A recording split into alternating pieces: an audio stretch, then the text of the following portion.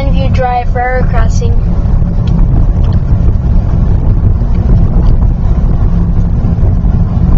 And this, Where are you? What town are you in? uh, in, in Alton City. I just saw a yellow